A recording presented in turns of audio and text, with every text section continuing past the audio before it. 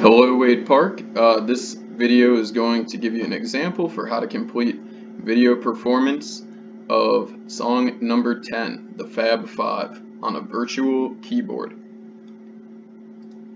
So on the Schoology page, we're going to go to Unit 5. If you are on a laptop, you can open your virtual keyboard if you're on an iPad, you'll be using the keyboard that's built into the GarageBand app.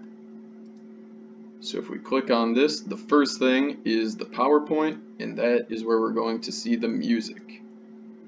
And you'll have to open it in a new window.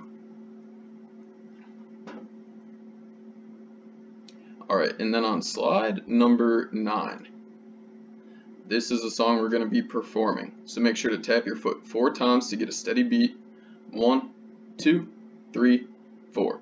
C, C, C, C, D, rest, rest, rest. G, G, F, F, E, rest, rest, repeat. C, C, C, C, D, rest, rest, rest. G, G, F, F, E, rest, rest, rest.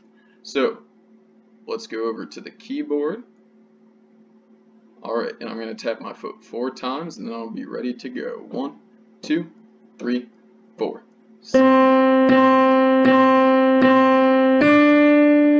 Rest, rest. And repeat again.